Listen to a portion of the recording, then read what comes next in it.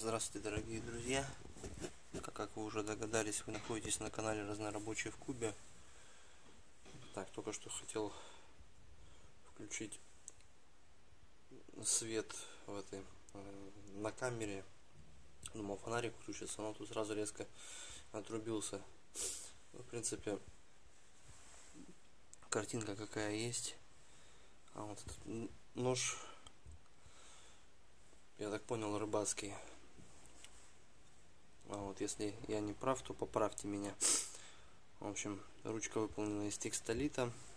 Здесь вот специальный такой штырек, как жало.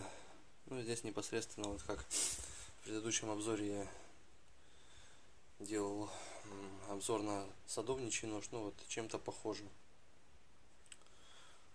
А, в общем, нож сверх-сверх старенький. Конечно, уже ржавчина его немножко поглощает. Вот. Ну, конечно, можно его подчистить, пошлифовать и эту э, обработать в каком-нибудь антикоррозийном растворе. Ну, или смазать элементарно положить просто на хранение. Так как нож совершенно не используется. ну, за редким случаем. А, вот. Конкретно год изготовления я вам не скажу.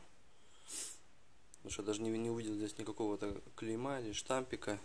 Есть какие-то вдавления, но они уже все затертые. Вот. Ну так, как мы видим, нож прям вообще очень-очень многое повидавший. И такое ощущение, что это ну, вот именно ручная работа, что ли. Может, я, конечно, где-то ошибаюсь, но... Потому что здесь вот прям вот как, как чувствуется, что все вручную выполнено. Это мои догадки, конечно. Так что такие друзья пироги. друзья пироги. Такие вот пироги, друзья. Такой небольшой обзорчик. Подписывайтесь на канал. Ставьте пальцы вверх. Приглашайте друзей. И все будет окей. Ну, в любом случае, все будет окей. А, вот просто в рифму чуть-чуть пришлось.